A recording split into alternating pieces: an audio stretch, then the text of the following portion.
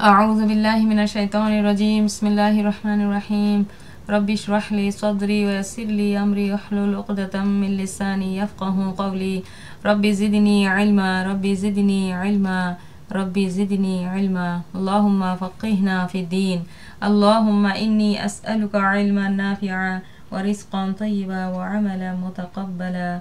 اللهم انفعني بما علمتني وعلمني ما ينفعني وزدني علما আচ্ছা তাহলে আমরা ইসলামী আকিদা আহ, খন্দকার মোহাম্মদ আবদুল্লাহ জাহাঙ্গীরের যে বইটা আমরা পড়ছিলাম তো বইটার আমরা পঞ্চাশ পার্সেন্ট আগের দিন পড়েছি আর আজকে আমরা তারপর থেকে কন্টিনিউ করবো ইনশাআল্লাহ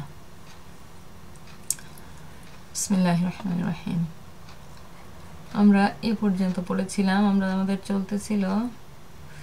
আচ্ছা ইমাম আবু হানিফা রহিমাউল্লাহ ইমাম আবু ইউসুফ রহিমাউল্লাহ ও ইমাম মোহাম্মদ রহিমাউল্লাহর মাঝহাবের ভিত্তিতে আহলুস সুন্নাহ ওয়াল জামাতের আকিদা ব্যাখ্যা প্রসঙ্গে ইমাম আবু জাফ- জাফর তাহাবি বলেন,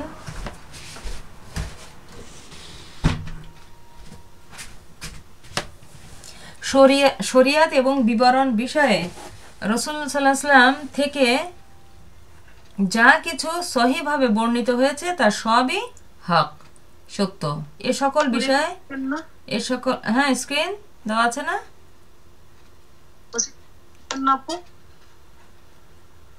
কথা শুনতে পাইনি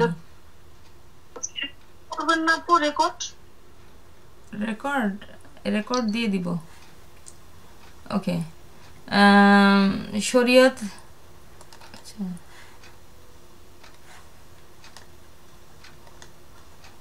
বাকিরা জুমে চলে আসো। আচ্ছা এখানে একটা রেকর্ড দিচ্ছি।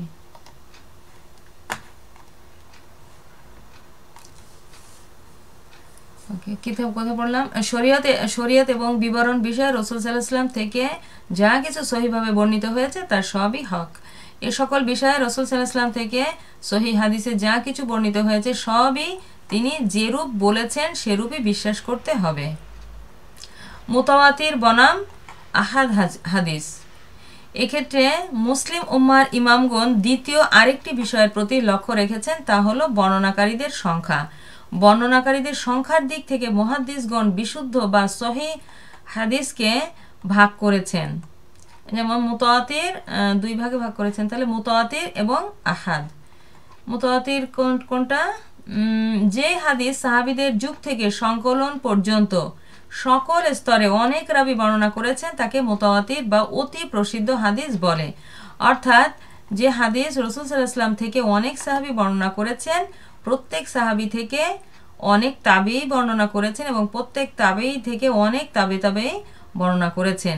এভাবে রসুল্লাহ সাল্লাহাম থেকে সংকলন পর্যন্ত প্রত্যেক পর্যায়ে বহু সংখ্যক ব্যক্তি যে হাদিস বর্ণনা করেছেন, তাকে মোতাওয়াতির হাদিস বলা হয়।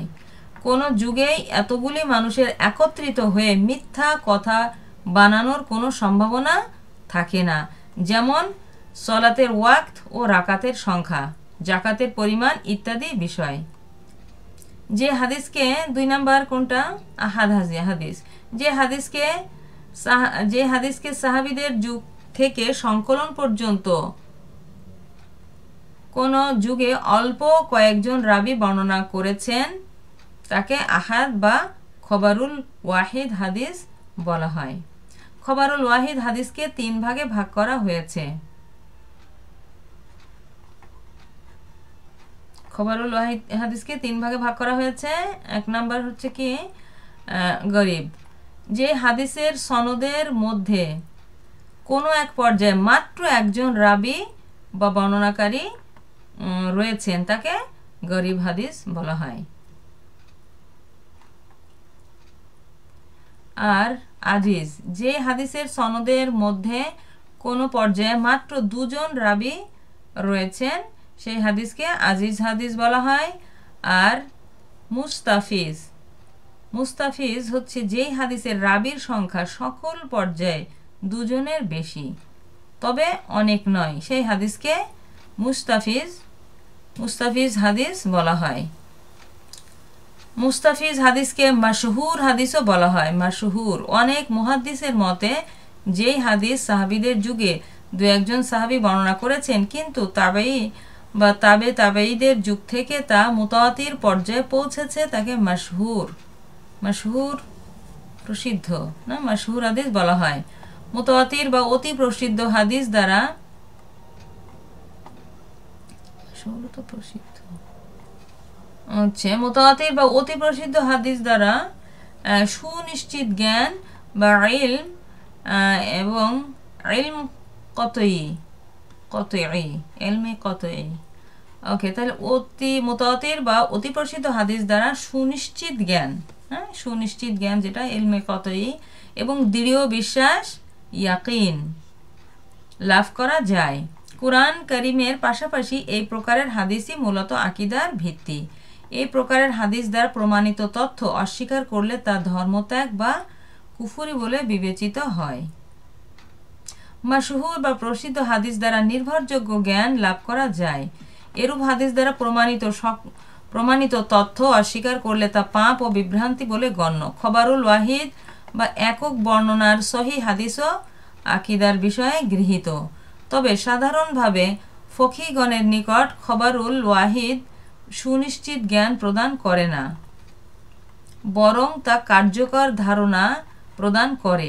কর্মের ক্ষেত্রে বা কর্ম বিষয়ক, হালাল, হারাম ইত্যাদি বিধিবিধানের ক্ষেত্রে এরূপ হাদিসের উপর নির্ভর করা হয়। আকিদার মূল বিষয় প্রমাণের জন্য সাধারণত এরূপ হাদিসের উপর নির্ভর করা হয় না। আকিদার মূল বিষয় প্রমাণের জন্য সাধারণত এরূপ হাদিসের উপর নির্ভর করা হয় না। তবে মূল বিষয়ের ব্যাখ্যায় ও প্রাসঙ্গিক বিষয়ে তার উপর নির্ভর করা হয়। অনেক আলিম মত প্রকাশ করেছেন যে, সহি হাদিস যদি খবরুল ওয়াহিদ হয় এবং তাবে তাবে গণের যুগে না হলেও তাবে, অর্থাৎ যদি খবরুল ওয়াহিদ, সহি হাদিস যদি খবরুল ওয়াহিদ হয় এবং তা তাবেইদের যুগে না হয়ে তাবে তাবেইদের যুগে প্রসিদ্ধি লাভ করে তবে আকিদার ক্ষেত্রে তার নির্ভর করা তা নির্ভর করা যাবে। কেউ কেউ মত প্রকাশ করেছেন যে বুখারি এবং মুসলিম উভয়ের সংকলিত হাদিস সমূহের বিশুদ্ধতা যেহেতু প্রমাণিত হয়েছে এবং মুসলিম ওম্মার আলিমগণ এগুলি এগুলিকে বিশুদ্ধ হিসেবে গ্রহণ করেছেন সেহেতু এগুলি দ্বারা সুনিশ্চিত বিশ্বাস লাভ করা সম্ভব। তবে সাধারণভাবে অধিকাংশ আলিম মত প্রকাশ করেছেন যে খবরুল ওয়াহিদ পর্যায়ের হাদিস ধারণা বা কার্যকরী ধারণা প্রদান করে, সুনিশ্চিত বিশ্বাস প্রদান করে না। এ বিষয়ে ইমাম নব্বী বলেন, সহি হাদিস বিভিন্ন প্রকারের। সর্বোচ্চ পর্যায়ের সহি হাদিস যা বুখারি ও মুসলিম উভয়েই সহি বলে উদ্ধৃত করেছেন। এরপর যা শুধু বুখারি সংকলন করেছেন, এরপর যা কেবল মুসলিম সংকলন করেছেন, এরপর যা বুখারি ও মুসলিম মুসলিম উভয়ের শর্ত অনুসারে সহি বলে গণ্য। এরপর যা বুখারির শর্ত অনুযায়ী সহি বলে গণ্য। এরপর যা মুসলিমের শর্ত অনুসারে সহি বলে গণ্য। এরপর যা অন্যদের বিচারে সহি বলে গণ্য। শাইক তাকিউদ্দিন ইবনুস সালাহ উল্লেখ করেছেন যে, বুখারি ও মুসলিম অথবা উভয়ের একজন যেই হাদিসকে সহি হিসাবে সংকলন করেছেন, সেই হাদিসটি সুনিশ্চিত রূপেই সহি এবং তদ্বারা সুনিশ্চিত জ্ঞান লাভ করা জ্ঞান লাভ হয়। মুহাক্কিক বা সুপণ্ডিত গবেষকগণ এবং অধিকাংশ আলিম তার এই মতের বিরোধিতা করেছেন। তারা বলেছেন যে মুতাওয়াতির পর্যায়ে না যাওয়া পর্যন্ত সকল প্রকারের সহি হাদিস দ্বারাই ধারণা লাভ করা যায়। জন আমরা পড়েছি না? জন্না সে ধারণা করেছিল। জন্না সেভেন্টি পার্সেন্টে সেখান থেকে জন ধারণা, জন্মন। ওকে দ্বিতীয়, তৃতীয় হিজরি শতকের মুহাদ্দিস ও ফকিগণের কর্মধারা থেকে স্পষ্ট হয় যে যে সকল হাদিস সহি সনদে বর্ণিত হয়েছে এবং তবেই তবেই গণের মধ্যে প্রসিদ্ধি লাভ করেছে, তা সবই আকিদার ক্ষেত্রে গ্রহণযোগ্য। উপরে আমরা ইমাম আবু হানিফা রহিমাহুল্লাহ ও- ইমাম তাহাবি রহিমাহুল্লার বক্তব্য থেকে জেনেছি যে আকিদার বিষয়েও তারা সহি হাদিসের উপর নির্ভর করতেন। এ বিষয়ক হাদিস মুতাতির হতে হবে তা শর্ত করেননি। পার্থক্য এই যে, কোরআনে উল্লেখিত বা মুতাতির হাদিসের মাধ্যমে পরিজ্ঞাত কোনো বিষয় অস্বীকার করলে তা কুফুরি বলে গণ্য হয়। তবে খবরুল ওয়াহিদের মাধ্যমে পরিজ্ঞাত বিষয় অস্বীকার করলে তা বিভ্রান্তি বলে গণ্য হয়। আকিদার ক্ষেত্রে মোতাবাতির হাদিসের উপর গুরুত্ব প্রদানের দ্বিবিধ কারণ রয়েছে। হাদিসের এই শ্রেণীভাগ বুঝতে নিম্নের উদাহরণটি আলোচনা করা আলোচনা করা যায়। যে কোনো বিচারালয়ে উত্থাপিত মামলার প্রদত্ত সাক্ষ্য প্রমাণের মাধ্যমে বিচারক একটি দৃঢ় ধারণা লাভ করেন। তিনি মোটামুটি বুঝতে পারেন যে এ সম্পদ সত্যই এই লোকের বলে মনে হয়, অথবা এই লোকটি সত্যই এই হত্যাকাণ্ডে জড়িত ছিল বলে বোঝা যায়। তিনি এও জানেন যে তার এই ধারণার মধ্যে ভুল হতে পারে। সকল বিচারকেরই কিছু রায় ভুল হয়, কিন্তু এজন্য বিচার প্রক্রিয়ার মাধ্যমে নিষ্পন্ন বিচারের রায় প্রদান প্রদান বন্ধ রাখা হয় না। অনুরূপভাবে সামগ্রিক সনদ, বিচার ও অর্থ যাচাইয়ের পরে খবরুল ওয়াহিদ বা এককভাবে বর্ণিত সহি হাদিসের ক্ষেত্রে মুহাদ্দিস অনুরূপ কার্যকরী ধারণা লাভ করেন যে কথাটি সত্যই রসুল সাল্লাম বলেছেন। তবে বর্ণনার মধ্যে সামান্য হেরফের থাকার ক্ষীণ সম্ভাবনা তিনি অস্বীকার করেন না। তবে সম্ভাবনা প্রমাণিত না হওয়া পর্যন্ত একে কার্য কার্যত নির্ভুল বলে গণ্য করা হয়। যখন এরূপ বর্ণনা অতি প্রসিদ্ধ, যেটা মোতাবাতির বা প্রসিদ্ধ মাসহুর পর্যায়ের হয়, তখন ভুল ভ্রান্তির সামান্য সম্ভাবনাও রহিত হয়। কুরআন পুরোপুরি মোতাবাতিরভাবে বর্ণিত। যেভাবে রসুল্লাহ সাল্লাহামের উপর তা অবতীর্ণ হয়েছে, অবিকল সেভাবে শত শত সাহাবি তা লিখিত ও মৌখিকভাবে বর্ণনা করেছেন। তাদের থেকে হাজার হাজার তাবেই তা সেভাবে গ্রহণ করেছেন এবং প্রচার করেছেন। কেউ একটি শব্দকে সমার্থক কোনো শব্দ দিয়ে পরিবর্তন করেননি। সহি হাদিস তদ্রূপ নয়। হাদিস বর্ণনার ক্ষেত্রে সাহাবি তাবেইগণ অর্থের দিকে বেশি লক্ষ্য রাখতেন। আরবি ভাষা ও বর্ণনা শৈলীর বিষয়ে অভিজ্ঞ সাহাবি তাবেইগণ প্রয়োজনে একটি শব্দের পরিবর্তে সমর্থক অন্য শব্দ ব্যবহার করতেন। মূল হাদিসের অর্থ ঠিক রেখে শব্দ শব্দ পরিবর্তনের প্রচলন তাদের মধ্যে ছিল। এবার দ্বিতীয় খ। আকিদা বা বিশ্বাস মূলত প্রতিটি মুসলমানের ক্ষেত্রে এক ও অভিন্ন হতে হয়। বিশুদ্ধ আকিদা ও আমল শেখাতেই আল্লাহ নবী রসুল সাল্লাহ প্রেরণ করেছেন। নবী রসুল প্রেরণ করেছেন। রসুল্লাহ সাল্লাহ তার উম্মতকে বিশুদ্ধতম আকিদা ও আমল শিখিয়ে গিয়েছেন। আমলের ক্ষেত্রে বিকল্প আছে। সব মুসলিমের উপর ফরজ কিছু কাজ ব্যতীত বিভিন্ন ফজিলতমূলক নেক কাজে একটি না করলে অন্যটি করা যায়। কিন্তু আকিদার ক্ষেত্রে কোনো বিকল্প নেই। আকিদা সবার জন্য একই রূপের সর্বপ্রথম ফরজ। যে বিষয়টি বিশ্বাস করা মুমিনের জন্য প্রয়োজন, সেই বিষয়টি অবশ্যই রসুল্লাহ সাল্লাহাম তার সকল সাহাবিকে জানিয়েছেন এবং সুস্পষ্ট ও দ্ব্যর্থহীন ভাষাতে জানিয়েছেন এবং সাহাবিগণও এভাবে তাবেইগণকে জানিয়েছেন। এতে আমরা বুঝতে পারি যে আকিদার আকিদার বিষয়ে হয় কোরআনে স্পষ্ট আয়াত থাকবে অথবা অগণিত সাহাবি থেকে মোতাবতির হাদিস বর্ণিত থাকবে। এছাড়া কর্মের বিষয়ে ইস্তিহাদ বা কিয়াসের উপর, উপরে নির্ভর করা যায়। বিশ্বাসের ভিত্তি গয়বি বিষয়ের উপরে। এই এ সকল বিষয়, এ সকল বিষয় ওয়াহির নির্দেশন, নির্দেশনা ছাড়া কোনো ফয়সালায়, ফয়সালা দেওয়া যায় না। এক্ষেত্রে ইস্তিহাদ অচল। বিশ্বাসের ক্ষেত্রে ওহির বিষয়কে যুক্তি দিয়ে প্রমাণ করা যায়। বিশ্বাসের ক্ষেত্রে ওয়াহির বিষয়কে যুক্তি দিয়ে প্রমাণ করা যায়, তবে যুক্তি দিয়ে নতুন কিছু সাব্যস্ত করা যায় না। ওকে সহি হাদিসের উৎস। উপরের আলোচনা থেকে আমরা বুঝতে পেরেছি যে কোরআন, করিম এবং সহি হাদিসে ইসলামী আকিদা এবং সকল ইসলামী জ্ঞান ও কর্মের ভিত্তি ও উৎস। এজন্য সাহাবিগণের যুগ থেকে আলিমগণ হাদিসের বিশুদ্ধতা যাচাইয়ের জন্য সচেষ্ট ছিলেন। এক্ষেত্রে তারা দ্বিবিধ প্রক্রিয়া অনুসরণ করেছেন সংকলন ও যাচাই বাছাই। রসুল ইসলামের ওয়াফাতের প্রায় নব্বই বছর পর থেকে পরবর্তী প্রায় দুইশো বছর বছরের মধ্যে তার নামে বর্ণিত প্রায় সকল হাদিস এবং সাহাবি, তাবেই ও তাবেইগণের বক্তব্য, কর্ম ও মতামত বিভিন্ন হাদিস গ্রন্থের সনদ সহকারে সংকলিত হয়। এছাড়া বিভিন্ন তাফসির, ইতিহাস ও অন্যান্য গ্রন্থেও কিছু সহি সনদ সহকারে সংকলন করা হয়েছে। অধিকাংশ মহাদ্দিসের লক্ষ্য ও পদ্ধতি ছিল সনদ সহকারে প্রচলিত সকল হাদিস সংকলন করা। এজন্য তারা সনদ সহ সহি জয়ীফ মাউজু ইত্যাদি সকল প্রকার হাদিস সংকলন করতেন। এছাড়া তাফসির, ইতিহাস ও এ জাতীয় গ্রন্থগুলিতে গ্রন্থকারগণ মূলত বিষয় সংশ্লিষ্ট সকল হাদিস সনদ সহ জমা করতেন। সাহাবি সরি সহি বা মৌজু কোনো বিচার করতেন না বা উল্লেখও করতেন না। অল্প সংখ্যক মুহাদ্দিস কেবল সহি হাদিস সংকলনের চেষ্টা করেন। অল্প,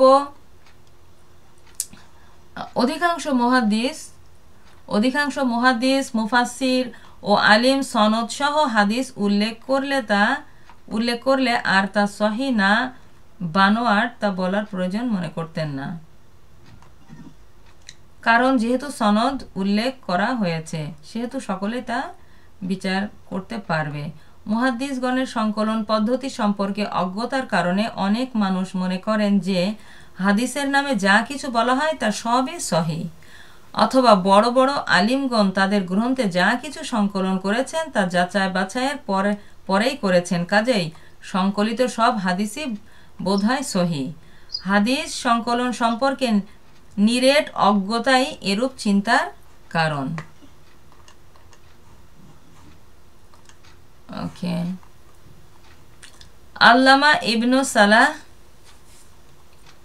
বলেন, বুখারি ও মুসলিমের বাইরে সহি হাদিস খুঁজতে হবে মাসহুর হাদিসের বইগুলিতে। যেমন আবু দাউদ, তিরমিজি, নাসাই, ইবনু খুজাইমা, দারাকুতনি ও অন্যান্যদের সংকলিত গ্রন্থ।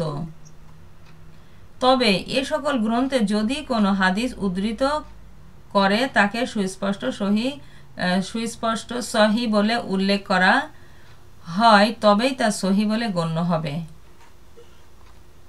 তবে এ সকল গ্রন্থে যদি কোনো হাদিস উদ্ধৃত করে তাকে সুস্পষ্ট সহি বলে উল্লেখ করা হয়, তবেই তা সহি বলে গণ্য হবে। শুধুমাত্র এ সকল গ্রন্থে হাদিসটি উল্লেখ করা হয়েছে বলেই হাদিসটিকে সহি মনে করা যায় না। কারণ এ সকল গ্রন্থে সহি ও জয়ীফ সব রকমের হাদিসই রয়েছে। আল্লামা ইবনু হাজার আসকালি বলেন, দ্বিতীয় হিজরি শতাব্দী থেকে শুরু করে পরবর্তী সকল যুগের অধিকাংশ মহাদিসের রীতি ছিল যে, সহি, জয়ীফ মাউজু বাতিল, সকল প্রকার হাদিস, সনদ সহ সংকলন করা। তাদের মূলনীতি ছিল যে, সনদ উল্লেখ করার অর্থই হাদিসটি বর্ণনার দায়ভার রাবিদের উপর ছেড়ে দেওয়া। সংকলকের আর কোনো দায় থাকে না। দ্বাদশ হিজড়ি শতকের অন্যতম আলিম শাহ ওয়ালিউল্লাহ দেহলবি হাদিসের গ্রন্থগুলিকে পাঁচটি পর্যায়ে ভাগ করেছেন। প্রথম পর্যায়ে রয়েছে তিনখানা গ্রন্থ, সহি বুখারি, সহি মুসলিম ও মুয়াত্তা ইমাম মালিক। এই তিনখানা গ্রন্থের সকল সনদ সহ বর্ণিত হাদিসই গ্রহণযোগ্য বলে প্রমাণিত হয়েছে। দ্বিতীয় পর্যায়ে রয়েছে যে সকল যে সকল গ্রন্থ, সেগুলির হাদিস মোটামুটি গ্রহণযোগ্য বলে প্রমাণিত হলেও সেগুলিতে কিছু অনির্ভরযোগ্য হাদিসও রয়েছে। মোটামুটিভাবে মুসলিম উম্মা এ সকল গ্রন্থকে গ্রহণ করেছেন ও তাদের মধ্যে এগুলি প্রসিদ্ধি লাভ করেছে। এই পর্যায়ে রয়েছে তিনখানা গ্রন্থ, সুনানে আবু দাউদ, সুনানে নাসাই, সুনানে তিরমিজি। ইমাম আহমেদের মুসনাদও প্রায় এই পর্যায়ের।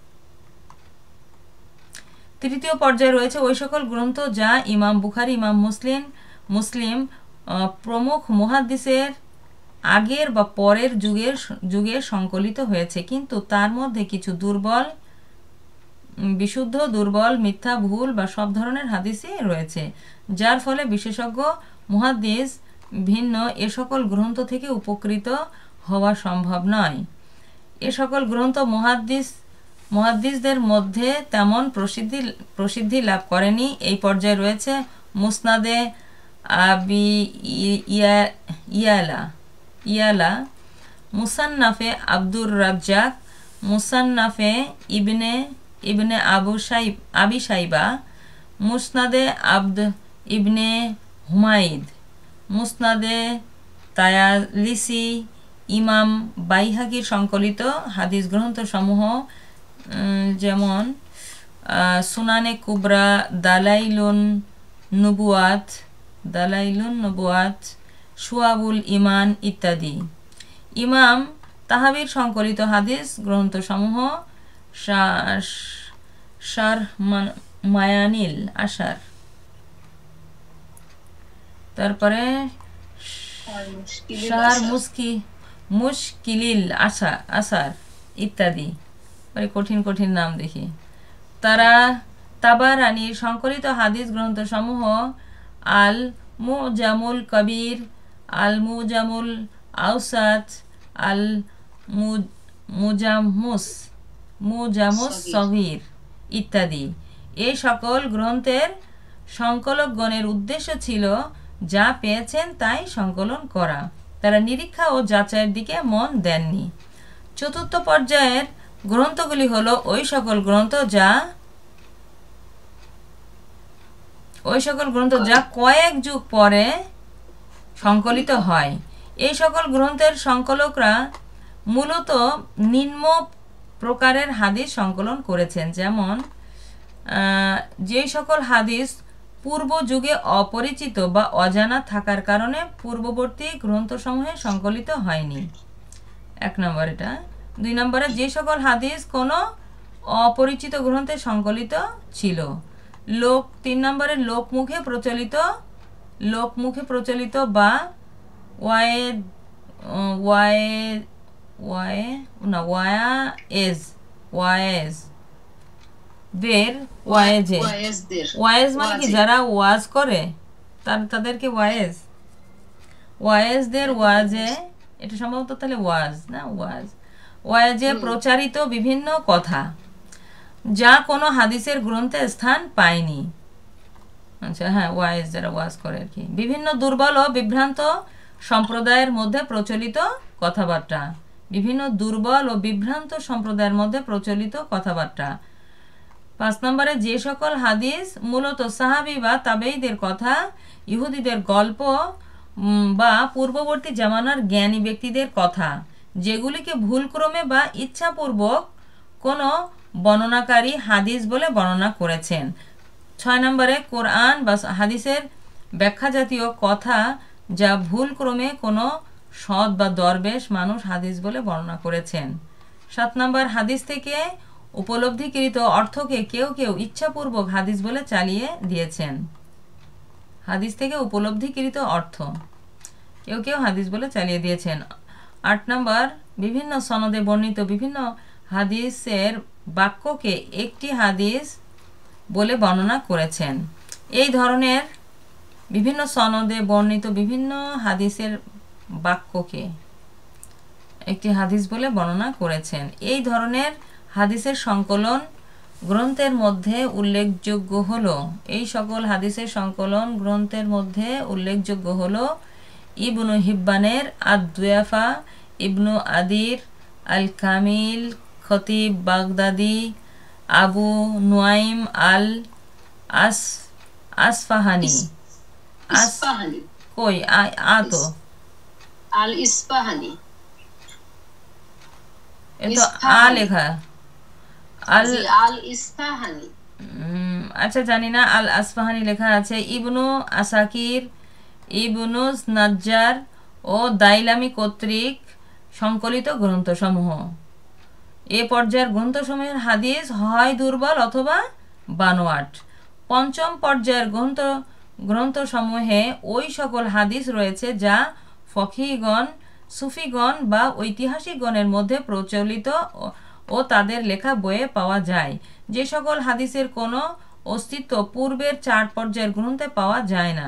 এসব এসব হাদিসের মধ্যে যেমন হাদিসও রয়েছে, যা কোনো ধর্মচ্যুত ভাষা জ্ঞানী, পণ্ডিত, পাপাচারী মানুষ তৈরি করেছে। তিনি তার বানোয়াট হাদিসের জন্য এমন সনদ তৈরি করেছেন, যার ত্রুটি যার ত্রুটি ধরা দুঃসাধ্য। আর তার বানোয়াট হাদিসের ভাষাও এরূপ সুন্দর যে রসুল সাল্লাহ কথা বলে সহজে বিশ্বাস হবে। এ সকল বানোয়াট হাদিস ইসলামের মধ্যে সুদূর প্রসারী বিপদ ও ফেতনা সৃষ্টি করেছে। তবে হাদিস শাস্ত্রে সুগভীর পাণ্ডিত্যের অধিকারী বিশেষজ্ঞ মহাদ্দিসগণ হাদিসের ভাষা ও সনদের তুলনামূলক আলোচনার মাধ্যমে তার ত্রুটি খুঁজে বের করতে সক্ষম হন।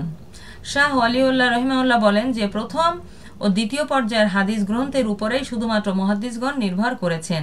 তৃতীয় পর্যায়ের হাদিস গ্রন্থসমূহ থেকে হাদিস শাস্ত্রে সুগভীর পাণ্ডিত্যের অধিকারী ইলমোর রেজাল ও ইলাল শাস্ত্রে পণ্ডিত, বিশেষজ্ঞ মহাদ্দিস বিশেষজ্ঞ মহাদিসগণ ছাড়া কেউ উপকৃত হতে পারে না। কারণ এই সকল গ্রন্থে সংকলিত হাদিস সমূহের মধ্য থেকে মিথ্যা হাদিস ও নির্ভরযোগ্য হাদিসের মধ্যে পার্থক্য শুধু তারাই করতে পারেন।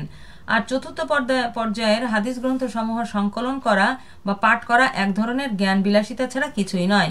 সত্য বলতে রাফেজি, মুতাজিলি ও অন্যান্য সকল বিদাতি ও বাতিল মতের মানুষেরা খুব সহজেই এ সকল গ্রন্থ থেকে তাদের মতের বিরুদ্ধে বিভিন্ন হাদিস বের করে নিতে পারবেন। কাজেই এই সকল গ্রন্থের হাদিস নিয়ে কোনো মত প্রতিষ্ঠা করা বা কোনো মতের পক্ষে দলিল দেওয়া আলিমদের নিকট বাতুলত অগ্রহণযোগ্য।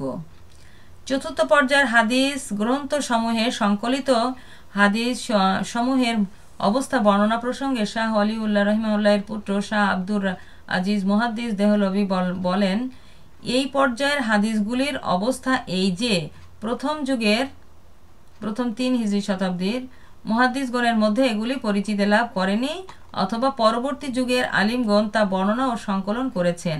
এর দুটি ব্যাখ্যা হতে পারে। প্রথম সম্ভাবনা এই যে, প্রথম যুগের মহাদিসগণ এগুলির বিষয়ে জেনেছিলেন এবং এগুলির সনদ বা সূত্র সম্পর্কে অনুসন্ধান করেছিলেন। তারা এগুলির কোনো সনদ বা ভিত্তি জানতে পারেননি। এজন্য তারা এ সকল হাদিস সংকলন করেননি। দ্বিতীয় সম্ভাবনা এই যে তারা এগুলির সনদ বা সূত্র জানতে পেরেছিলেন, তবে তাদের অনুসন্ধানের মাধ্যমে এগুলির সনদে কঠিন আপত্তি ও ত্রুটি জানতে পেরেছিলেন, যেই ত্রুটির কারণে হাদিসগুলি প্রত্যাখ্যান করা জরুরি ছিল। তারা, এজন্য তারা হাদিসগুলি সংকলন করেননি।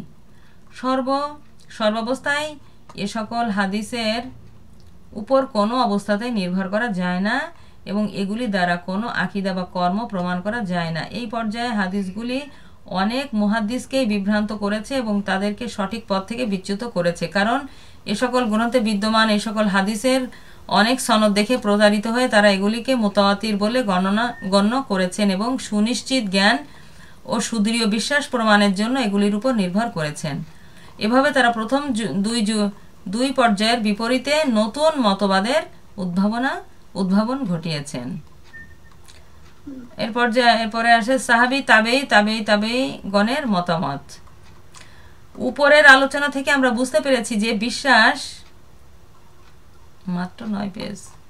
বিশ্বাস ও অবিশ্বাসের সকল জ্ঞানের উৎস হচ্ছে আল্লাহর পক্ষ থেকে প্রেরিত ওহি বা কোরআন ও সুন্না ইসলামী বিশ্বাস বা আল আকিদা আল ইসলামিয়ার ভিত্তি ও উৎস কোরআন ও হাদিসের জ্ঞান।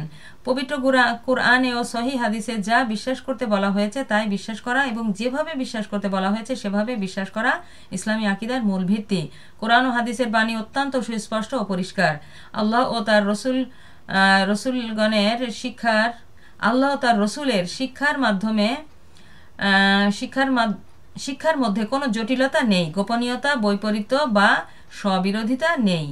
তারপরও কখনো জ্ঞানের দুর্বলতার কারণে কোরআনের বা হাদিসের বুঝার বা ব্যাখ্যার ক্ষেত্রে মতপার্থক্য বা দ্বিধা সৃষ্টি হলে রসুল আকরাম সাল্লাহ সাল্লাম এর সাহাবিগণ এবং পরবর্তী দুই প্রজন্ম তাবেই ও তাবেই তাবেই তাবেই তাবেই গণের ব্যাখ্যা ও মতামতই চূড়ান্ত বলে গণ্য করা হয়।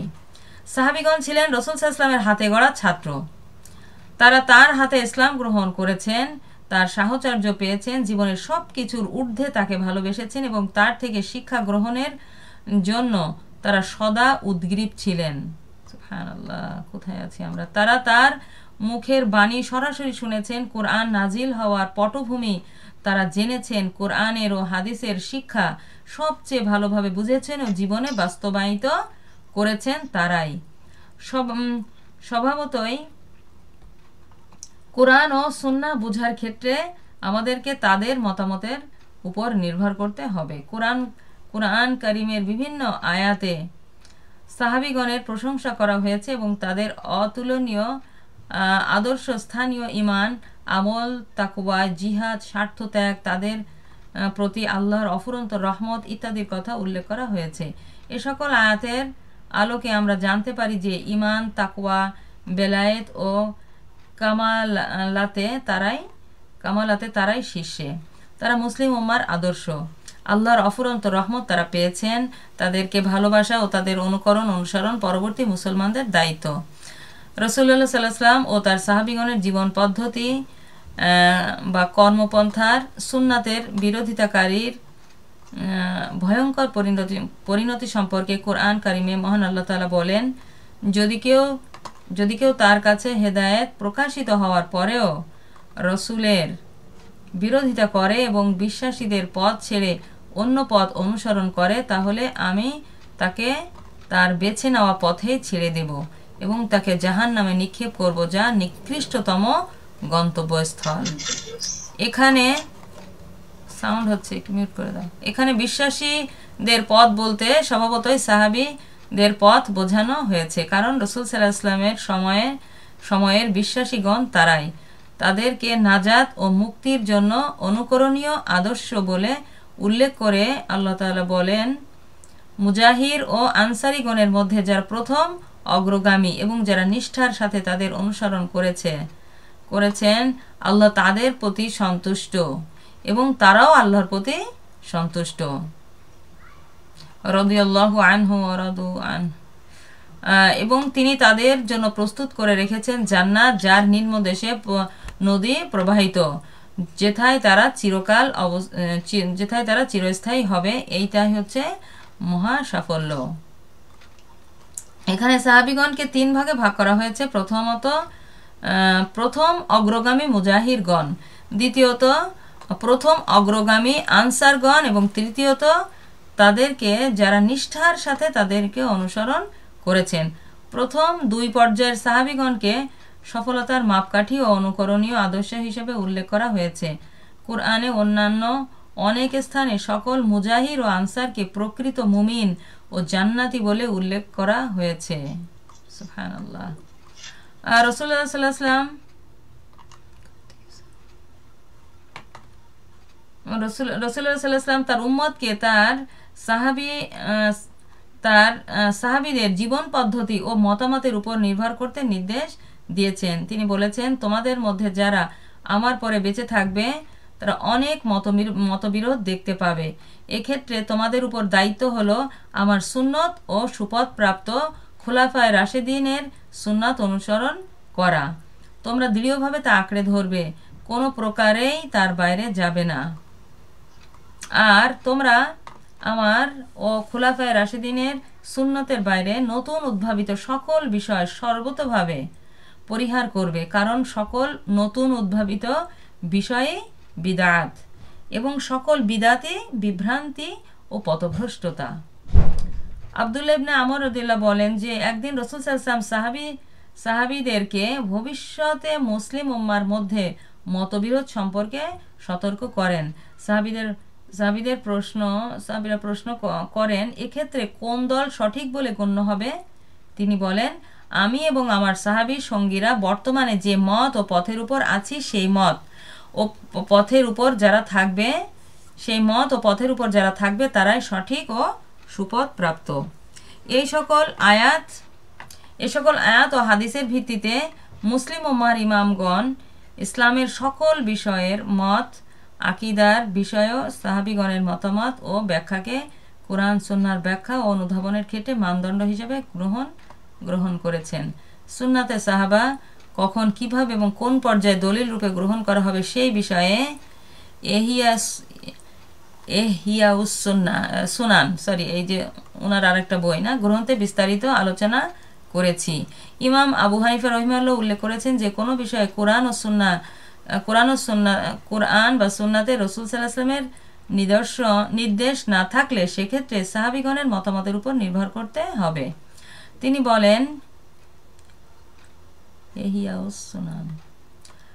তিনি বলেন আমি কোরআনের উপর নির্ভর করি। কোরআনে যা পাই, কোরআনে যা পাই না, তার জন্য সুন্নাতে রসুলের রসুলের উপর নির্ভর করি।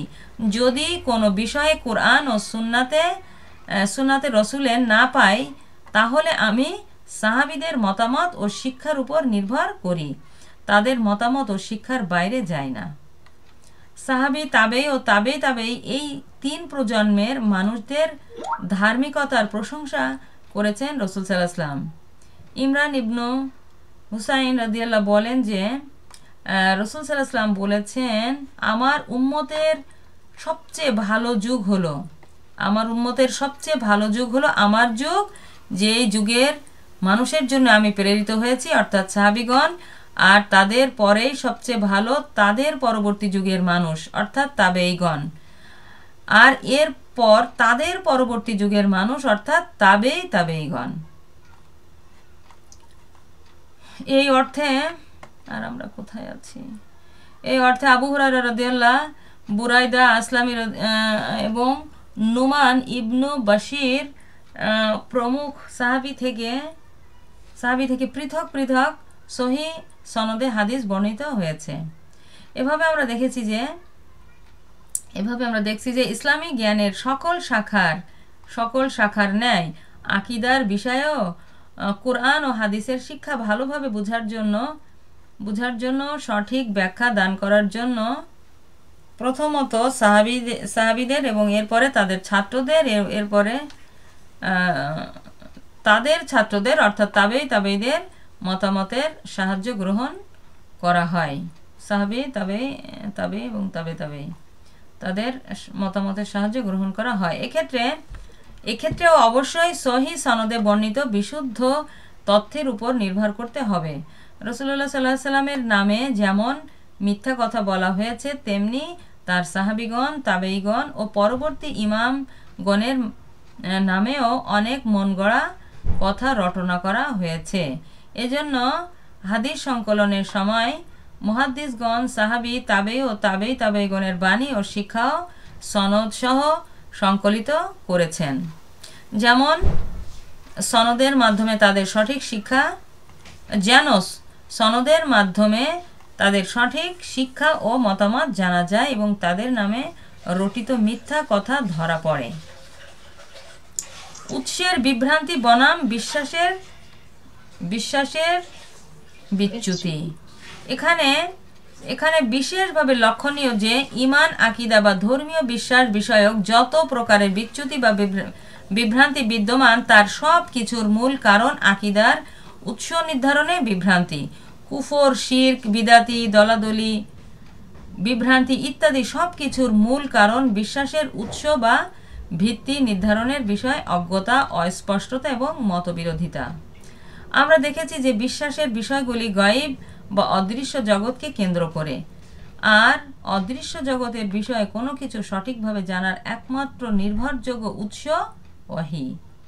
যখনই কোনো মানুষ ওয়াহির অস্তিত্ব বা গুরুত্ব অস্বীকার করে অস্বীকার করে অথবা আকিদার বিষয়ে অহির অতিরিক্ত কোনো সূত্র বা উৎসের উপর নির্ভর করে তখনই সে তার জন্য বিভ্রান্তির দরজা উন্মুক- উন্মুক্ত করে দেয়। এ জাতীয় বিভ্রান্তিকর উৎসের মধ্যে রয়েছে এক নম্বর, ওয়াহি অস্বীকার করা।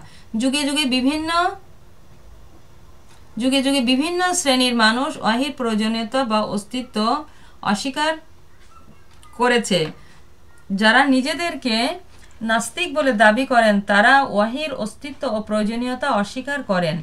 এরূপ নাস্তিকতার দাবিদারগণও মনের গভীরে স্রষ্টার অস্তিত্বের কথা অনুভব করেন।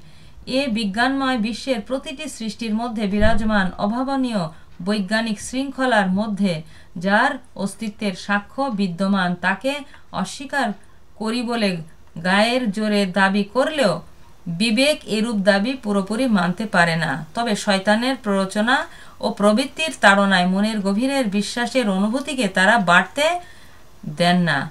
বিবেকের বিশ্বাসের দাবি মুখে স্বীকার করলেই করলেই অনেক স্বেচ্ছাচারিতা ও অবৈধ কর্ম বাদ দিতে হয়। এজন্য তারা বিষয়টি মুখে স্বীকার করেন না বা এই বিষয়ে বিবেকের প্রেরণা নিয়ে চিন্তা গবেষণা করতে চান না।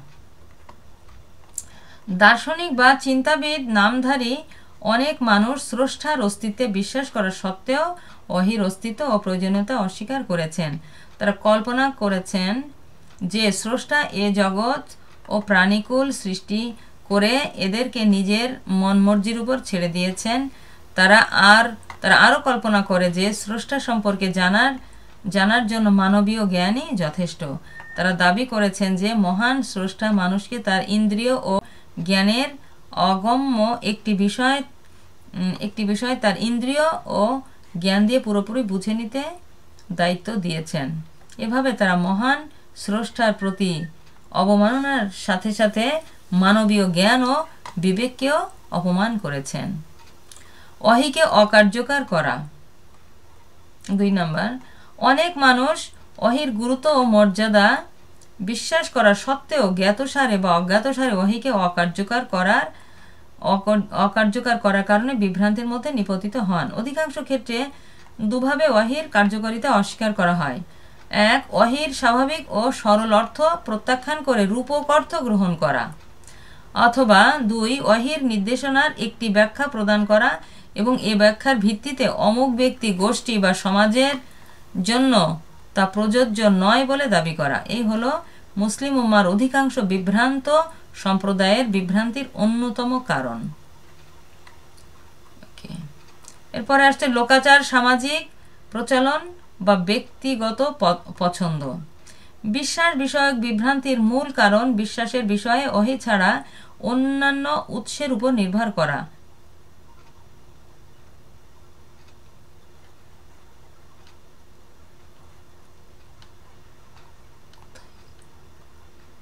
অহিকে অর্চকার্য করা অপছন্দ করা ইত্যাদি। আমরা দেখেছি যে কাফিদের মূলত বিশ্বাস বিষয়ক বিভ্রান্তির মূল কারণ বিশ্বাস, বিশ্বাসের বিষয়ে ওয়াহি ছাড়া অন্যান্য উৎসের উপর নির্ভর করা। এ সকল ওহি অতিরিক্ত বিষয়াদির মধ্যে রয়েছে। লোকাচার, ব্যক্তিগত পছন্দ, ওয়াহির ব্যাখ্যা, ওয়াহি ভিত্তিক যুক্তি, ধর্মগুরুদের মতামত, ইলকা, ইলহাম বা কাশফ ও আকল বা মানবীয় জ্ঞান ইত্যাদি। আমরা দেখেছি যে আরবদের কাফিরগণ মূলত ওয়াহির অস্তিত্ব অস্বীকার করত না। তবে তারা বিভিন্ন অজুহাতে মোহাম্মদ সাল্লাহ উপর ওহি নাজিল হওয়ার বিষয়টি অস্বীকার করত। তাদের ধর্মবিশ্বাসের ভিত্তি ছিল লোকাচার, সামাজিক প্রচল- প্রচলন বা তাদের নিজস্ব পছন্দ। এ সকল লোকাচারকে তারা পিতা পিতা পিতামহের মাধ্যমে প্রাপ্ত ইব্রাহিম ও ইসমাইল আলাহিসাল্লামের ধর্মবিশ্বাস বলে বিশ্বাস করত। এগুলির ভিত্তিতেই তারা রসুল সাল্লাহ দাওয়াত অস্বীকার করে। তাদের নিকট ইব্রাহিম আলাহিসাল্লাম ও ইসমাইল ইসমাইল আলাহিসাল্লামের প্রতি অবতীর্ণ কোনো ওহি তাদের নিকট সংরক্ষিত ছিল না, বরং বিশ্বাসের ক্ষেত্রে তারা প্রচলনের উপরে নির্ভর করত।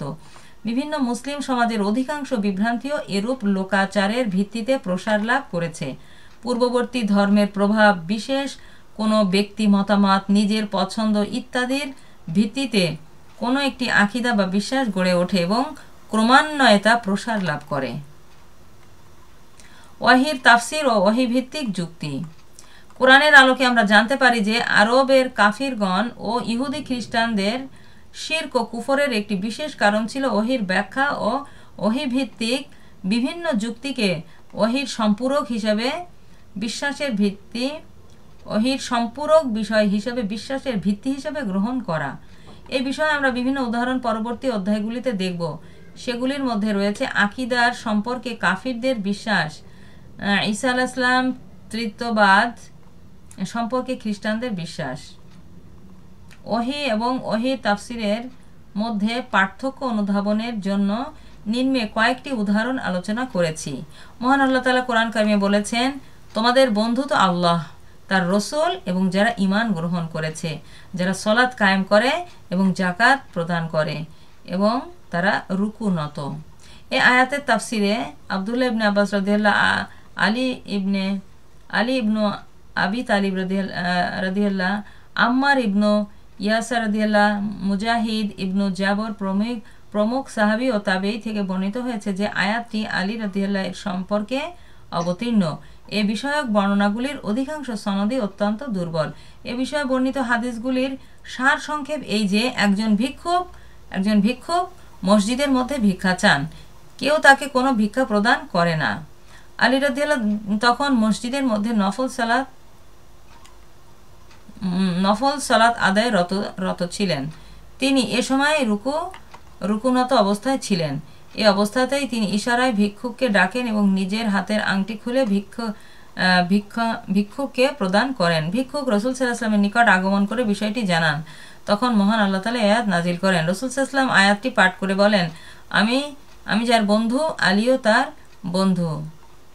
হে আল্লাহ, আলীকে যে বন্ধু হিসেবে গ্রহণ করে, তাকে আপনি বন্ধু হিসেবে গ্রহণ করুন এবং আলীর সাথে যে শত্রুতা করে, আপনিও তাকে শত্রুতা, তার সাথে শত্রুতা করুন।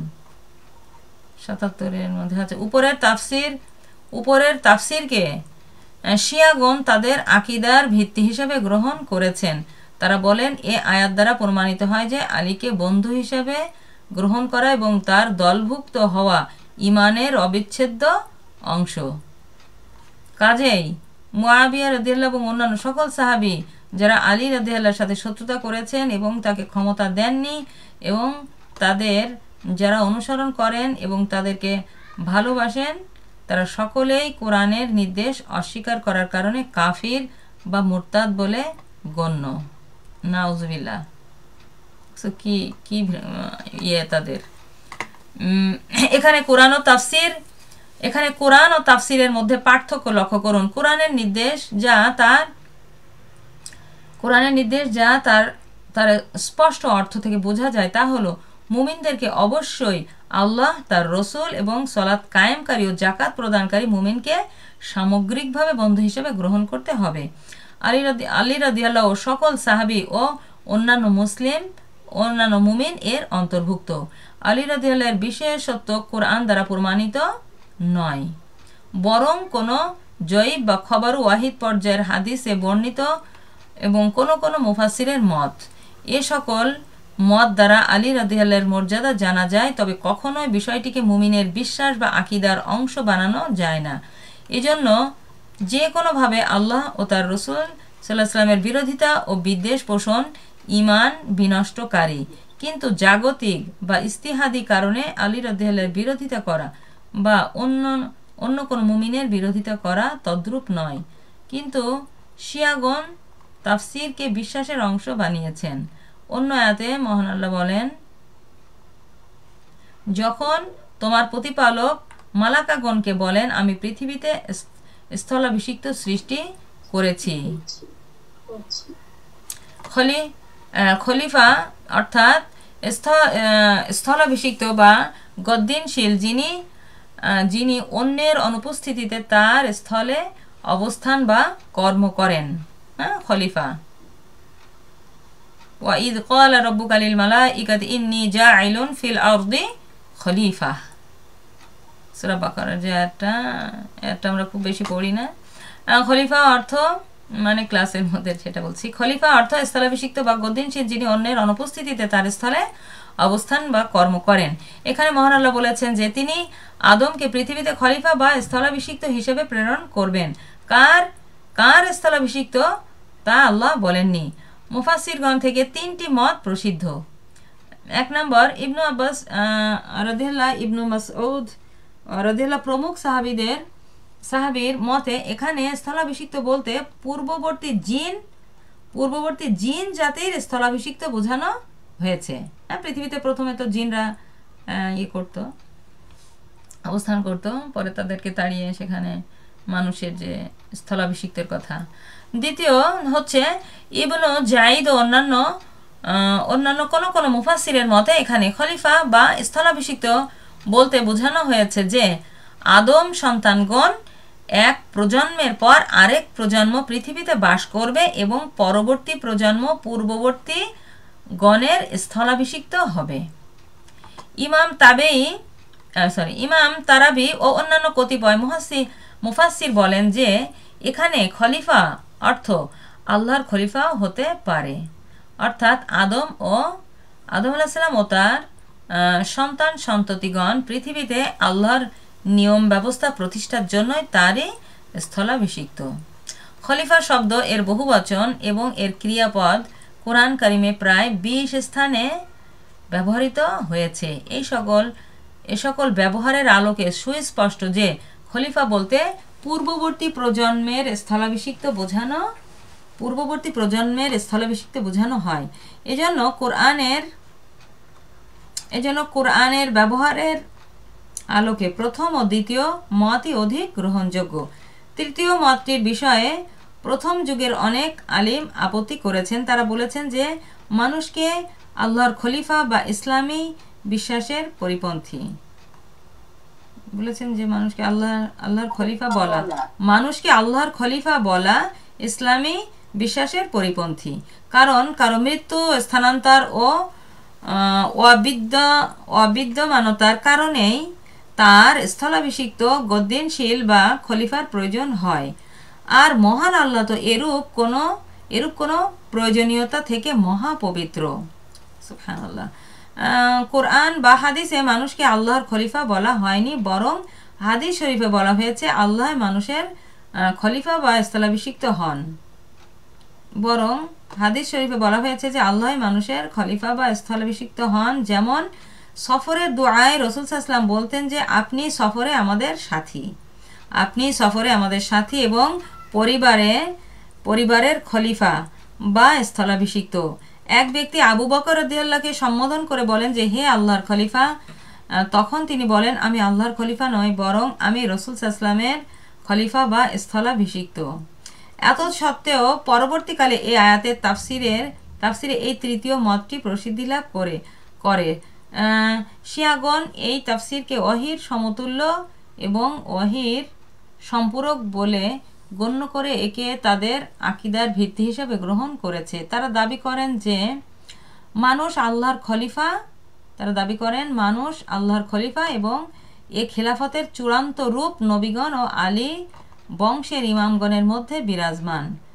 আর কারও খলিফা বা স্থলাভিষিক্ত হতে হলে অবশ্যই তাকে তার তাকে, তার মতো ক্ষমতা ও শক্তির অধিকারী হতে হবে। এ যুক্তিতে তারা দাবি করেন যে, আলী বংশের ইমামগণ মহান আল্লাহর মতোই অলৌকিক গায়বী জ্ঞান ও অলৌকিক ক্ষমতার অধিকারী।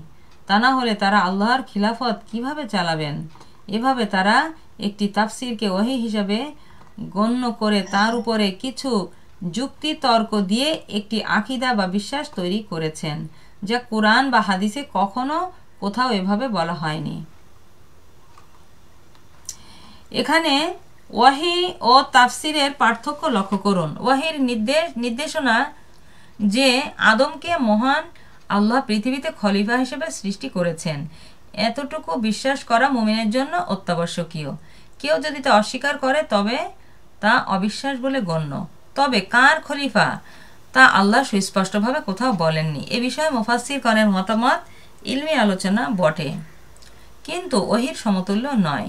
এভাবে আমরা দেখেছি যে উপরের তাফসিরগুলি গ্রহণযোগ্য এবং সাহাবা তাবেই ও পরবর্তী যুগের প্রসিদ্ধ মুফাসিরগণ থেকে বর্ণিত হলেও এগুলি কোরআনের সুস্পষ্ট নির্দেশনার মতো বিশ্বাসের ভিত্তি নয়।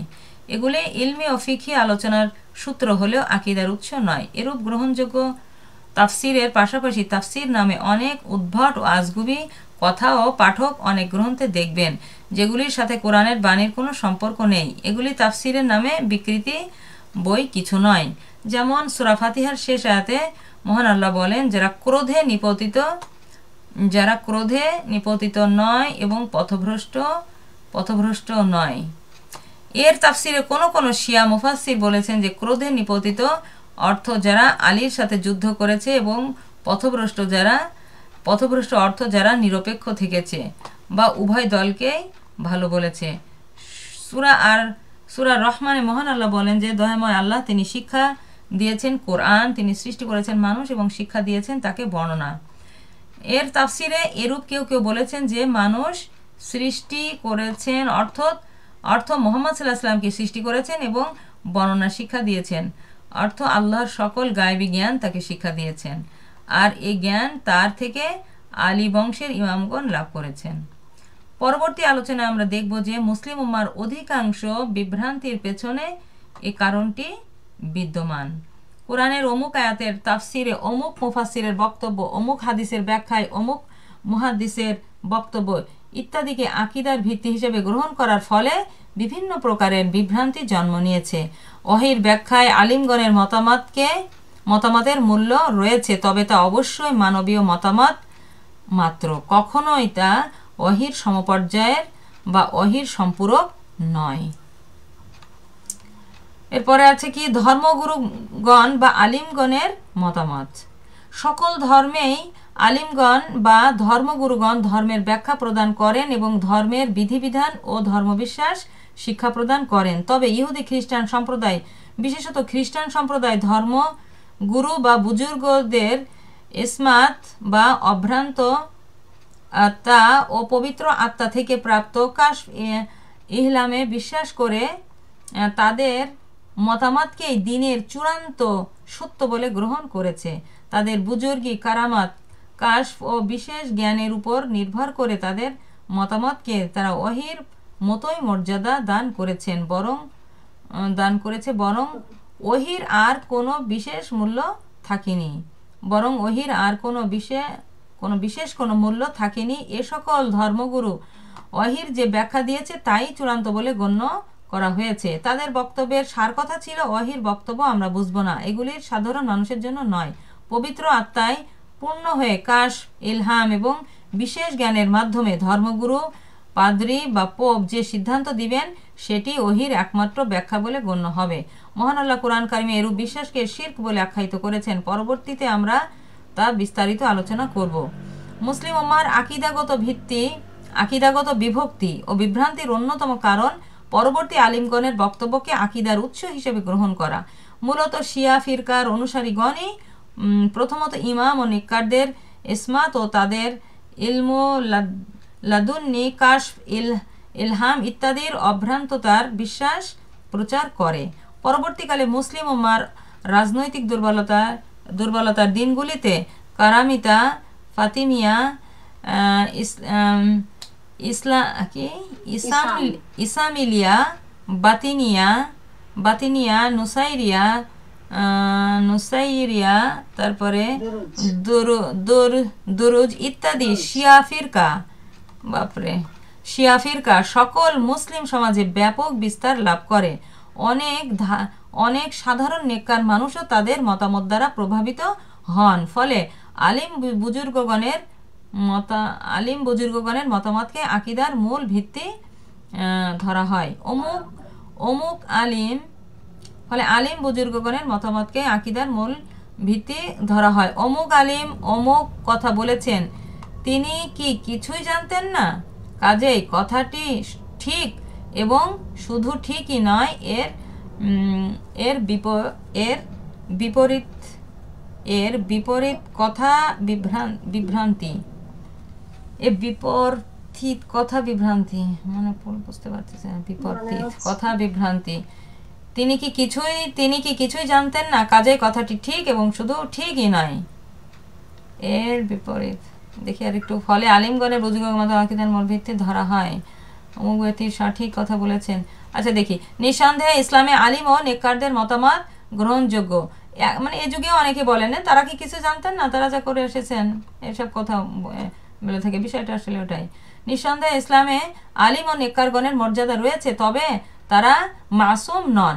তাদের মতামত কোরআন সুন্নার আলোকে আলোকে বিচার করে গ্রহণ করতে হবে। ভুলের কারণে যেমন কোনো নেককার ব্যক্তি নেকর নেককার ব্যক্তি বিষয়ে কুধারণা পোষণ করা যায় না তেমনি কোনো নেককার বলেছেন বলেই তা অভ্রান্ত বলে বিশ্বাস করা যায় না।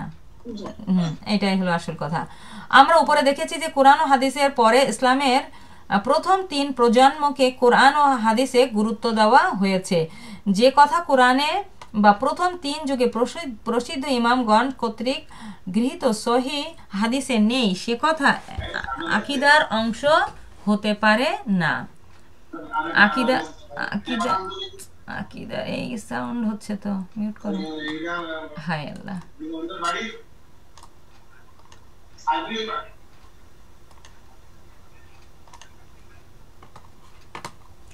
আমরা উপরে দেখেছি যে কোরআন হাদিসের পরে ইসলামের প্রথম তিন প্রজন্মকে কোরআন হাদিসে গুরুত্ব দেওয়া হয়েছে। যে কথা কোরআনে বা প্রথম তিন যুগে প্রসিদ্ধ ইমামগণ কর্তৃক সহি সহি হাদিসের নেই, সে কথা আকিদার অংশ হতে পারে না। ইলমি আলোচনার বিষয় হতে পারে না। আকিদা একমাত্র কোরআন ও হাদিস থেকেই শিখতে হবে। যদি কোরআন বা হাদিসের কোনো নির্দেশনা, নির্দেশ, নির্দেশন সুস্পষ্টতই পরস্পর বিরোধী হয়, অথবা সে বিষয়ে মতভেদ মতভেদের মতভেদের সৃষ্টি হয় এবং ব্যাখ্যার প্রয়োজন হয়, তবে সে বিষয়ে ব্যাখ্যার অধিকার সাহাবিগণের। তারা যদি কিছু না বলেন, তবে আমাদের কিছু বলার আর প্রয়োজন নেই। যে বিষয়ে যতটুকু বলে অথবা কিছু না বলে সাহাবিগণের ইমাম সঠিক থেকেছে। যে বিষয়ে যতটুকু বলে অথবা কিছু কিছু না বলে সাহাবিগণের ইমান ঠিক থেকেছে, সে বিষয়ে ততটুকু বললে অথবা কিছু না বললে আমাদেরও ইমান ঠিক থাকবে। পরবর্তী যুগের আলিমগণ অনেক কথাই বলেছেন। প্রথম তিন মোবারক শতাব্দীর পরে এবং বিশেষত ক্রুসের যুদ্ধে আক্রান্ত এবং পরে তাতার আক্রমণে পরাজিত ছিন্ন ভিন্ন মুসলিম সমাজগুলিতে অনেক আলিম বুজুর্গ অনেক কথা বলেছেন, তাদের বিপরীতেও অনেক অনেক কথা বলেছেন। আমাদের দেখতে হবে যে এ সকল কথা কি সাহাবিগণ বলেছেন? যদি তারা কিছু না বলেন, তবে আমাদের মুক্তির পথ হলো কিছু না বলা। কিছু বললে তা অলস ইলমি বিতর্ক হতে পারে। তবে আকিদার বিষয় হতে পারে না। উম্মতের উম্মতের সকল আলিম ও বুজ- বুজুর্গই সম্মানিত। তাদের সম্মান করা মুমিনের দায়িত্ব। তাদের মাধ্যমেই দিন আমরা পেয়েছি। তবে সম্মান করা এবং অভ্রান্ততায় বিশ্বাস করা বিশ্বাস করা এক নয়। উম্মতের পরবর্তী যুগের আলিমগণ অনেক কথা বলেছেন, তাদের মতামতের সম্মান করতে হবে এবং কোনো মত বাহ্যত সুন্নাতের বিপরীত হলে তার ভালো ব্যাখ্যা করতে হবে। তবে কখনোই তাকে আকিদার মূল ভিত্তি হিসেবে গ্রহণ করা যায় না বা এরূপ মতের ভিত্তিতে কোরআন ও সুন্নার, সুন্নতের নির্দেশনার ব্যাখ্যা করা যায় না। মানবীয় জ্ঞান, বুদ্ধি ও যুক্তি কিয়াস। আকিদা বা ধর্মবিশ্বাসের ক্ষেত্রে আকল আকল বা মানবীয় জ্ঞান, বুদ্ধির অবস্থান নির্ণয়ের ক্ষেত্রে দ্বিমুখী বিভ্রান্তি বিদ্যমান। কিছু মানুষ ধর্মবিশ্বাসের বিষয়ে আকলকে একেবারে বাতিল করে দিয়েছেন। তারা দাবি করেছেন যে অতেন্দ্রিয় বা গাইবী বিষয়ে ওহির মাধ্যমে যা কিছু বলা হবে তাই বিশ্বাস করতে হবে, তা যতই জ্ঞান বিজ্ঞানের সাথে সাংঘর্ষিক হোক। এ কারণে মানবীয় জ্ঞান ও বুদ্ধি বিবেকের সাথে সাংঘর্ষিক আজগুবি ও উদ্ভট বিষয়াদি ধর্মবিশ্বাস বা আকিদার নামে প্রচার করেছেন। এদের মাধ্যমে এদের মধ্যে অন্যতম ইহুদি ও খ্রিস্টান ধর্মের পরবর্তী ধর্মগুরুগণ। বিশেষত বিকৃত খ্রিস্টান ধর্মের মূল বিশ্বাস মানবীয় জ্ঞানের সাথে সম্পূর্ণ সাংঘর্ষিক। মহান আল্লাহর একত্ব ও ত্রিতে ত্রিতে ট্রিনিটি যেটা, বিশ্বাসী এমনই। তারা বিশ্বাস করেন যে মহান আল্লাহর সত্তা তিনজন ব্যক্তির সমন্বয়ে, তারা বিশ্বাস করেন যে মহান আল্লাহর সত্তা তিনজন ব্যক্তির সমন্বয়ে গঠিত। এই এই যে তৃতীয়বাদ যেটা, এই তিন ব্যক্তির সম্পূর্ণ পৃথক ও প্রত্যেককে স্বয়ং সম্পূর্ণ প্রত্যেকে স্বয়ং সম্পূর্ণ ঈশ্বর। কিন্তু তারা তিন ঈশ্বর নন। কিন্তু তারা তিন ঈশ্বর নন, বরং এক ঈশ্বর। ঈশ্বর প্রকৃতই তিন এবং প্রকৃতই এক। ঈশ্বর প্রকৃতই তিন এবং প্রকৃতই এক। এরূপ উদ্ভট কথাকে তারা বিভিন্নভাবে যুক্তিগ্রাহ্য করার চেষ্টা করে ব্যর্থ হয়ে শেষ পর্যন্ত বলেন, বিষয়টি অযৌক্তিক ও অবাস্তব। তবে যেহেতু ধর্মগ্রন্থে রয়েছে, তাই আমরা বিশ্বাস করি। তাদের এ কথাটি প্রতারণা মাত্র।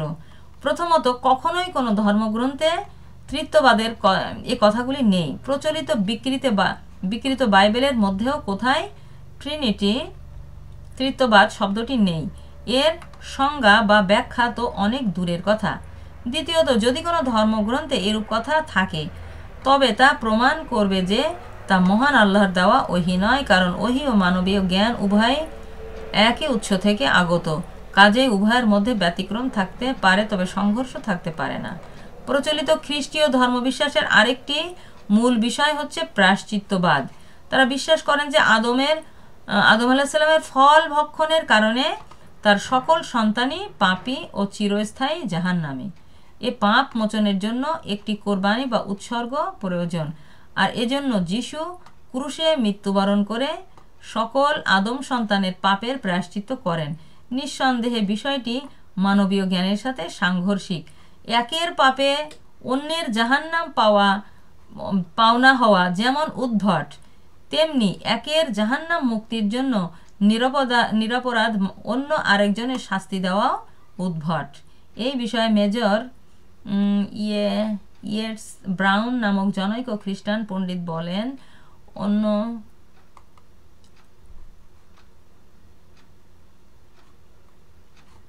অন্য আরেক দল মানুষ, অন্য আরেক দল মানুষ ঠিক এর বিপরীত অবস্থান নিয়েছেন। তারা ওহির অস্তিত্ব স্বীকার করলেও বিশ্বাসের ক্ষেত্রে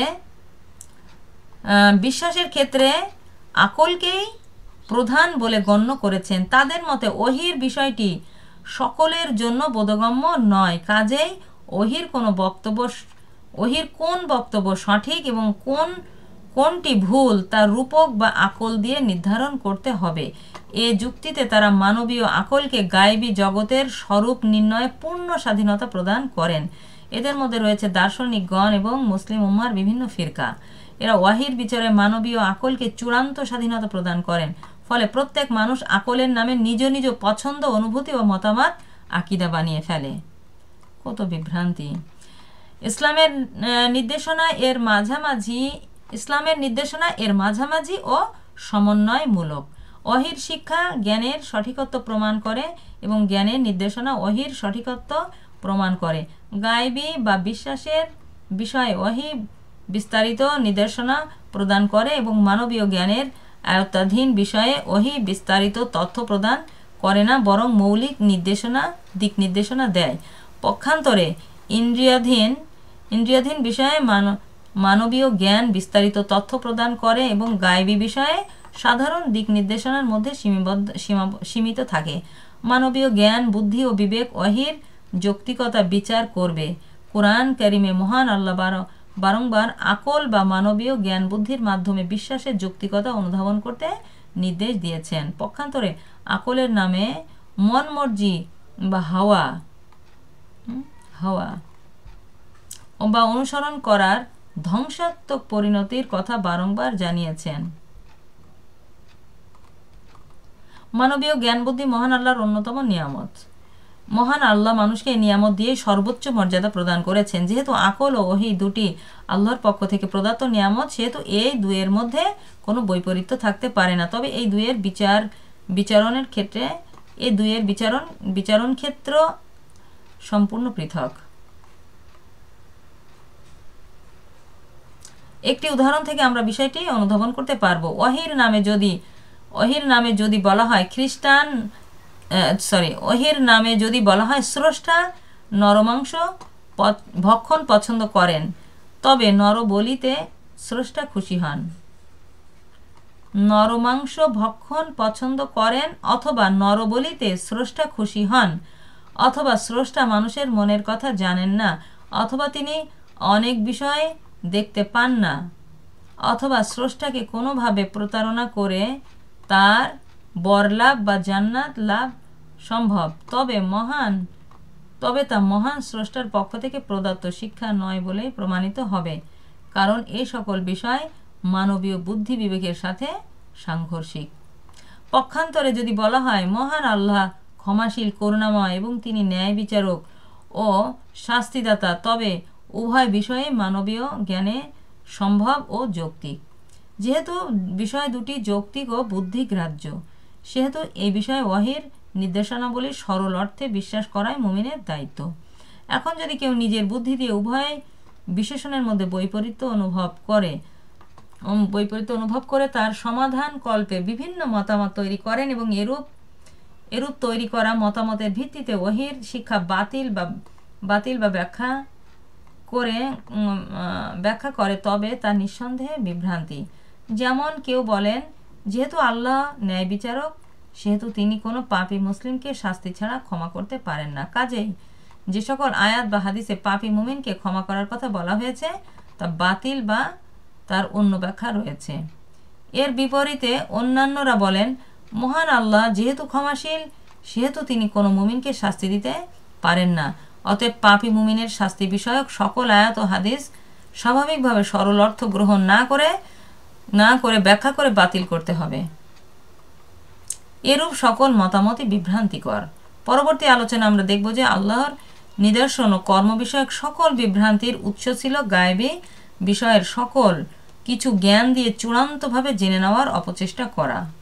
আকিদার ক্ষেত্রে কিয়াস ইস্তিহাজ, কিয়াস ইস্তিহাদ ও যুক্তি নির্ভরতার বিষয়ে ইমাম ইউসুফ বলেন, তাওহিদ বা আকিদা কিয়াস দ্বারা শেখা যায় না। কারণ কিয়াস তো চলে এমন বিষয়ে যার তুলনা আছে ও নমুনা আছে। আর মহান আল্লাহ পবিত্র, আর মহান, মহাপবিত্র আল্লাহ, আল্লাহর তো কোনো তুলনায়, তুলনাও নেই এবং নমুনাও নেই। মহান আল্লাহ তোমাকে নির্দেশ দিয়েছেন যে তুমি অনুসরণ করবে, শুনবে ও আনুগত্য করবে। যদি উম্মতকে তাওহিদ তাওহিদ সন্ধান ও ইমান অর্জনের জন্য নিজস্ব মতামত, কিয়াস ও পছন্দের সুযোগ দেওয়া হয়, তবে সবাই বিভ্রান্ত হয়ে যাবে। তুমি কি শুনোনি? মহান আল্লাহ বলেছেন, সত্য যদি এদের মতামত পছন্দের, এদের মতামত পছন্দের অনুগত হতো, তবে বিশৃঙ্খল হয়ে পড়তো আকাশমণ্ডলী, পৃথিবী এবং এ দুভয়ের মধ্যবর্তী এত দুভয়ের মধ্যবর্তী সব কিছু কাজেই এ আয়াতের তাফসির ভালো করে হৃদয়ঙ্গম করো। ইসলামী আকিদার গুরুত্ব। আর একটু পড়ি।